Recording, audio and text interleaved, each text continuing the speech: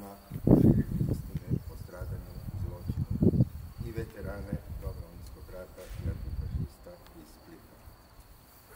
Pozdravljam veleposlanike i njihove opunomoćenike.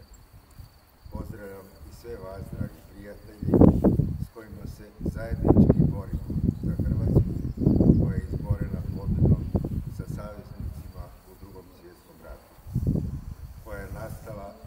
temeljima Zagnapa i europskih civilizacijskih principa, koja, kojima se vodimo i za koje se borimo i dan danas.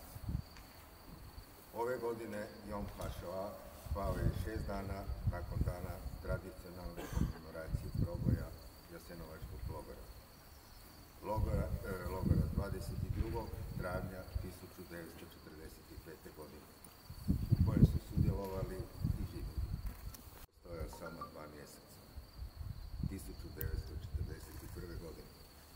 su pobijene tisuće i tisuće žrtava. Taj logor bio isključivo mjesto egzibidovske populacije. Danas u Jasenovcu komemoriramo i sve one koji su ovdje nestali. U Višar, Mahanot Kašpadaba, Europa, Šeumetu, Vešedekegu, Vešeniškatu, Vešenisrefu, Vešenitbeku, Vešenikeku, Alkiduškašem. בעבור שאנחנו בניכם ובנותיכם, ככם וככותיכם נודרים צדקה, בעד כהזכרת נשמותיכם. בגן עדן תחם מנוחתם.